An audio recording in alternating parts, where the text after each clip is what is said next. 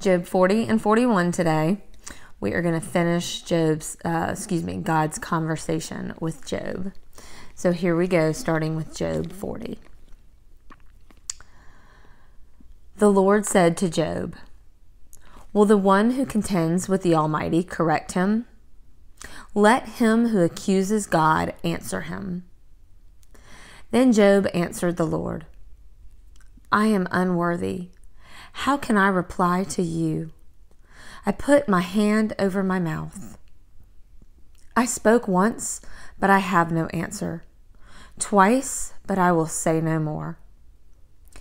Then the Lord spoke to Job out of the storm. Brace yourself like a man.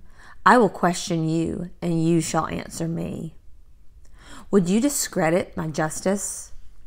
Would you condemn me to justify yourself? Do you have an arm like God's? And can you voice thunder like His? Then adorn yourself with glory and splendor, and clothe yourself in honor and majesty. Unleash the fury of your wrath. Look at every proud man and bring him low. Look at every proud man and humble him. Crush the wicked where they stand. Bury them all in the dust together shroud their faces in the grave.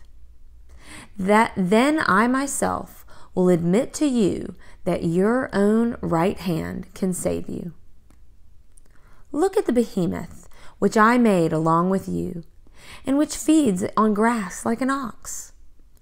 What strength he has in his loins, what power in the muscles of his belly. His tail sways like a cedar the sinews of his thighs are close knit.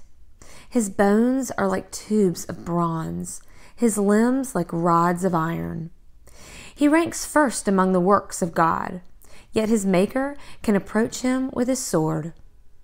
The hills bring him their produce, and all the wild animals play nearby. Under the lotus plant he lies, hidden among the reeds in the marsh. The lotuses conceal them in their shadows. The poplars by the stream surround him. When the river rages, he is not alarmed. He is secure. Though the Jordan should surge against his mouth, can anyone capture him by the eyes or trap him and pierce his nose? 41. Can you pull in the Leviathan with a fish hook or tie down his tongue with a rope? Can you put a cord through his nose or pierce his jaw with a hook? Will he keep begging for mercy, you for mercy? Will he speak to you with gentle words? Will he make an agreement with you for you to take him as your slave for life? Can you make a pet of him like a bird or put him on a leash for your girls? Will traders barter for him? Will they divide him up among the merchants?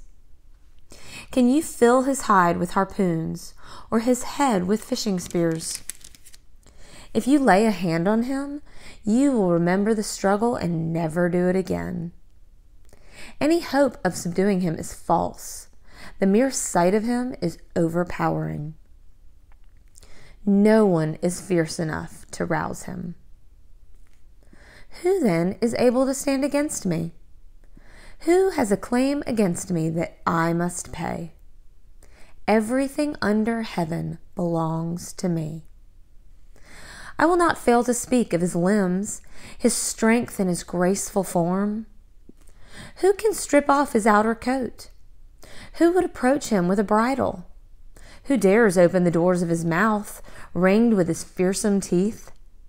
His back has rows of shields tightly sealed together each so close to the next that no air can pass through. They are joined fast to one another, they cling together and cannot be parted. His snorting throws out flashes of light. His eyes are like rays of the dawn. Firebrands stream from his mouth. Sparks of fire shoot out. Smoke pours from his nostril as from a boiling pot over a fire of reeds. His breath sets coal ablaze, and flames dart from his mouth. Strength resides in his neck. Dismay goes before him. The folds of his flesh are tightly joined, they are firm and immovable. His chest is hard as rock, hard as a lower millstone. When he rises up, the mighty are terrified. They retreat before his thrashing. The sword that reaches him has no effect, nor does the spear or the dart or the javelin. Iron he treats like straw, and bronze like rotten wood. Arrows do not make him flee. Slingshot, slingstones are like chaff to him. A club seems to him but a piece of straw. He laughs at the rattling of a lance. His undersides are jagged potsherds, leaving a trail in the mud like threshing sledge. He makes the depths churn like a boiling cauldron, and stirs up the sea like a pot of ointment. Behind him he leaves a glistening wake. One would think the deep had white hair. Nothing on earth is his equal, a creature without fear. He looks down on all that are haughty. He is king over all that are proud. God bless the reading and hearing of his words. Amen.